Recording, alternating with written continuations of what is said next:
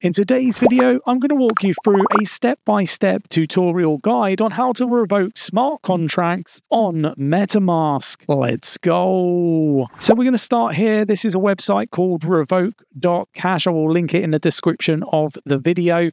Now, one thing that a lot of people don't recognize as a major threat is smart contracts. A lot of people go to different websites, they you know connect their MetaMask wallet and they don't realize that they're still logged in, I guess, with that MetaMask wallet to said, you know, website. And uh, this is a fantastic way to remove smart contracts that you've got attached to your MetaMask wallet that pose a potential risk of draining your wallet. Whether you've signed up to a suspicious website, whether you just check in to make sure there's nothing suspicious there that you don't recognize. So, we're going to open uh, the website up. We're going to connect our MetaMask wallet we're going to click MetaMask. We're going to connect it to revoke.cash. And as you can see here, we've got quite a few smart contracts that are here, right, that we can um, you know, remove. So we've got like a PancakeSwap. So we're still assigned to PancakeSwap. So we can literally click revoke and we'll wait for the pop up to come up. It's asking me to confirm it. So we're going to confirm that.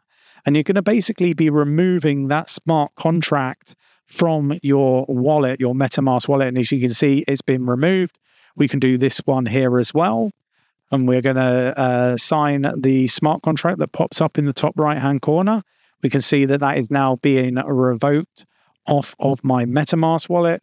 So, look, this is a fantastic way to basically safeguard your MetaMask wallet. I encourage people to do this maybe once a month, once every three months, just to make sure that there's no you know, suspicious activity, any suspicious smart contracts assigned to your MetaMask wallet. I hope you found this tutorial useful. If you did, hit the like button. Definitely check out more videos and tutorial guides on, you know, safety tips, keeping yourself, you know, in a really good, healthy position when it comes to your different wallets in crypto. So check out the playlist on the channel, subscribe, hit the like button, and, uh, you know, do comment below if this was of usefulness to you. Thanks for watching. Take care. I'll catch you in the next one.